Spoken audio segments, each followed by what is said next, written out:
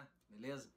É, vamos aqui mais uma vez com alguns testes. Fiquei fazendo teste ontem aí é, durante o dia todo, questão de captação de áudio. É, eu fiz dois testes.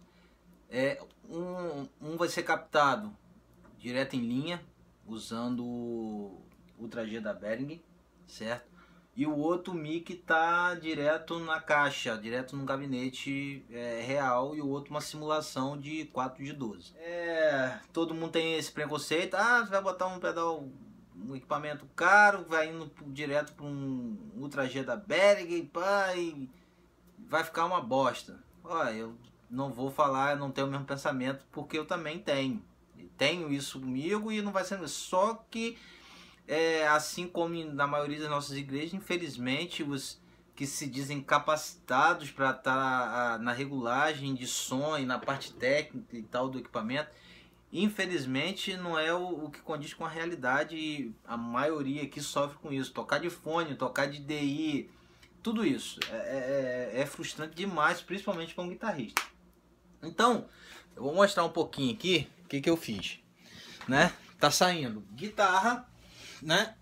Gibson Les Paul, cabo, né? Tá direto aqui, entrada pedal, tá saindo direto aqui do set, né? Do front, que tá, beleza. E tá indo aqui direto no cabeçote Orange do Alterro.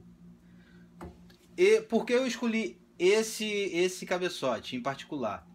É, eu escolhi porque ele me tem uma vantagem muito boa aqui. Me dá uma. Ele tem duas saídas de, de 8 ohms, certo? Ele tem. Não sei se vai dar pra ver que tá escuro. Hum, deixa eu ver aqui. Aqui. Ele tem aqui duas saídas de 8 ohms, certo? Então, esse cabo aqui né? Ele tá indo direto no Direct Box e esse cabo aqui tá indo direto no gabinete real, que é o mesa, o gabinete do mesa bug. Então, é, eu coloquei o mic, né? Coloquei o microfone aqui direto na, no, no gabinete, certo? É, eu tentei o, o, o, várias posições do microfone aqui. A que mais ficou parecida com o Ultra G, porque a, a, a, simulação dele, do 4 de 12, né?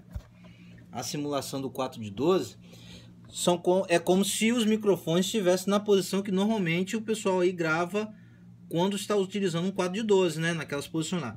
E ele tem, ele é um pouco mais, o som é um pouco mais fechado, tem mais de médio para grave. E eu tentar simular isso no gabinete, para na gravação ficar. Tentar botar. Tentar ficar o mais próximo possível. Ele tá aqui da borda do falante, né? Eu, eu não medi nada, mas eu, eu me guiei aqui a quatro dedos de distância e dois dedos de afastamento, né? Aos mais. Ah, como que eu vou dizer aqui? É, aos mais criteriosos, nós vamos utilizar uma trena, certo? Vamos lá.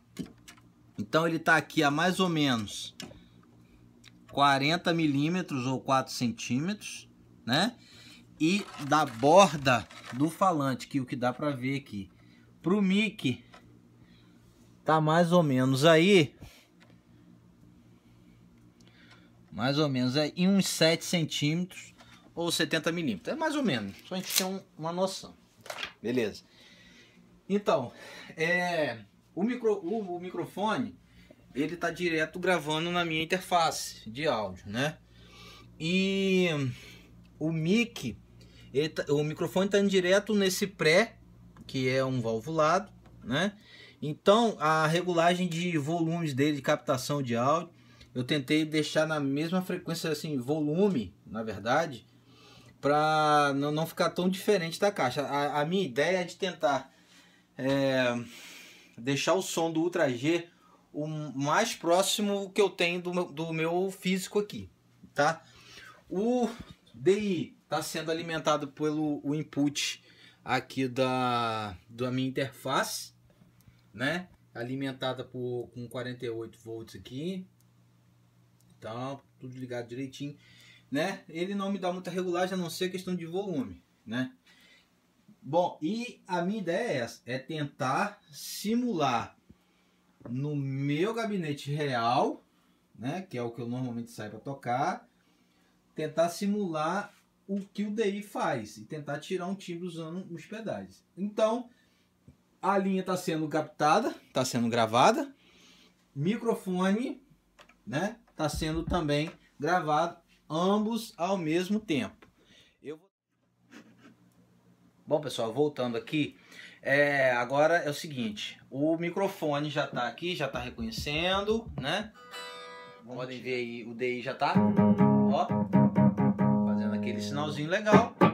Mic também. Vamos lá, ambos estão aqui, vou deixá-los em 2 dB, certo? Volume aqui, como vocês podem ver aí, né? Eu separei o pan aqui, é, left right, né? Direita e esquerda aí. Vamos estar tá fazendo uma gravaçãozinha em estéreo. Beleza? Vamos gravar um, um, um sonzinho só pra gente, em cima de um BT, pra gente ver como é que é, vai reagir. Né? Agora eu, tô, eu liguei o Bogner Burley, né? E pra gente sentir um pouquinho com um pouco mais de, de distorção.